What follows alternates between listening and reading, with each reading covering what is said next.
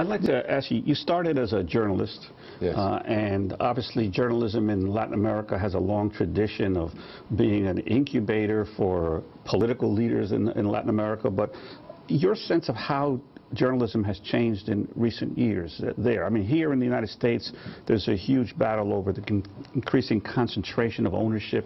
Yes. Uh, and I know in Latin America, there are the huge Yes, chains, yes, yes, yes. uh, Venevisión and, and Globovisión. Uh, how, d- how has journalism changed in Latin America in recent years?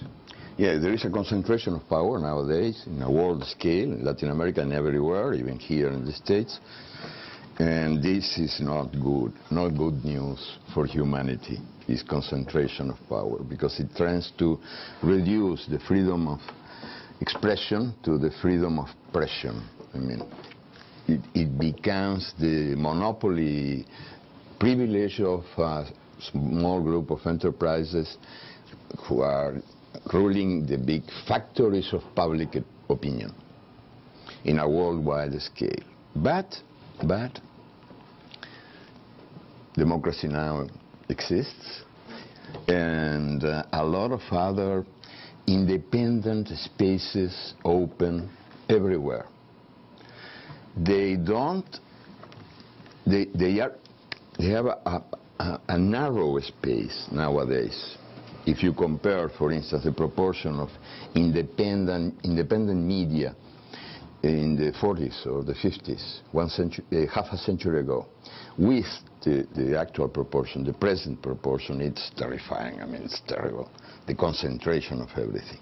But there are new ways, internet and so on, that are giving expression to the voiceless movements or the, the movements condemned to be um, sounding in campana de palo. How is it? In wooden bells. The wooden bells, yes. In wooden bells.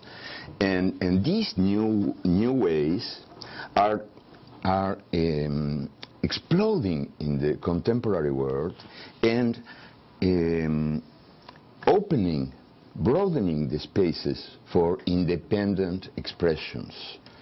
I, I, I, I, am a, uh, a- un arrepentido uh, uh, because I, I, I didn't believe in it at the beginning. I mean, I, I, I mistrusted it.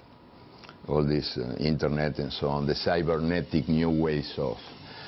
No, I was against it because I, I always had a strong suspicion that machines drink at, drink at night. When, when nobody sees them, they, they drink.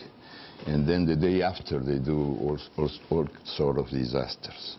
But nowadays, I, I accept that it's uh, something really new and a source of hope. Because internet was born for military purposes,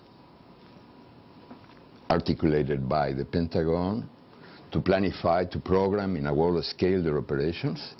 And nowadays it's serving also for military purposes and business and so on, but it's opening these spaces to breathe, respirar, that we need so much.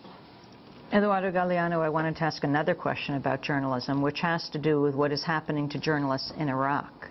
The number of journalists who have been killed, um, it looks like uh, well over 100 now. Western journalists, uh, photographers, videographers, and writers, and particularly Iraqi and Arab journalists. Yeah, particularly, most of them, yes. Your thoughts about the power of journalism and the power of pictures, especially in a time of war? Hmm. In the categories of death, because indeed a foreign journalist is much more important than an Iraqi journalist dead. And this is because the world, the world, the entire world is still sick from racism. And so we have citizens of first class, second class, third class, fourth class, and corpses of first class, second, third, fourth.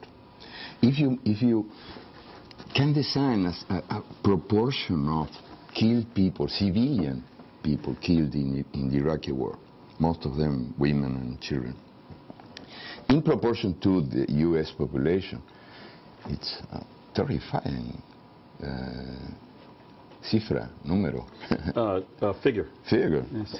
Half a million. Most of the, it would make more or less half a million. Ca can you imagine the scandal? It would, it would take millenniums to forget it. Half a million U.S. people, Americans, as it said, most of them women and children, killed by a foreign attack. Iraq invading the United States and killing half a million people here. Millenniums it would, it would take to forget it. But as they are Iraqis, we, we read each day in the newspapers, repeating, 30 people killed, 50 people killed, 100 people killed. It turns to be a habit, something normal, it's part of nature. And the same thing for journalists. Uh, it, it's sad to say it, but the one Iraqi life is not the same than one uh, British or U.S. or French or any other life ta taken in the in the noble job of telling what's happening in, in, in the battlefields.